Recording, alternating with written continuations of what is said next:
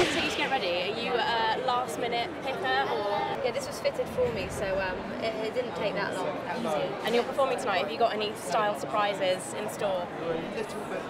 I don't know if it's a surprise. Um, maybe. Um, I'm, I'm wearing clothes, um, so there's a surprise. And if you could pick your top British female in terms of styles, who would it be? Ooh, top British female.